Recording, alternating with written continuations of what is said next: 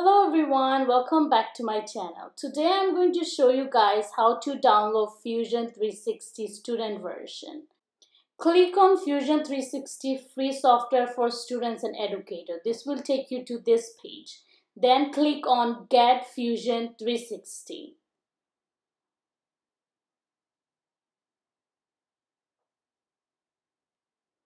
Then you have to click on Get Started and then you have to sign in. If you don't have an account make an account. So i have an account so i sign in.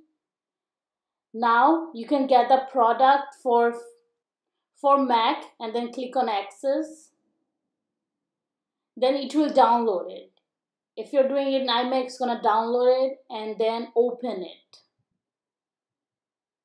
Wait few then you have this. Is opening the client downloaders after that, it will start downloading. You have to click on it, right click, open to install, and then it will start installing. It's verifying and then it will start to install. Let us give us some time to verify. Okay, now open, click on open.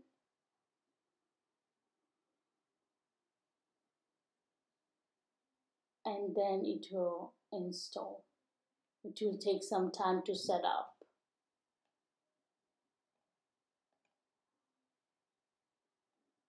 So Fusion is really a cool software to do 3D model. It's very convenient.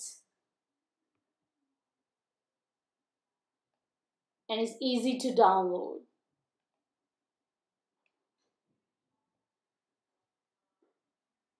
And then it's verifying again. And now it's done. So congratulations guys, the verifying is completed. Now you can open the Fusion. If you don't so see it in desktop, show in Finder from the client downloader and then it will take you there. You can drag it to your software and then you can open it. It will take some time and then it will open it. Thank you so much and start drawing your CAD design and I have made some videos related to CAD design. You can check those out. Thank you. Bye-bye.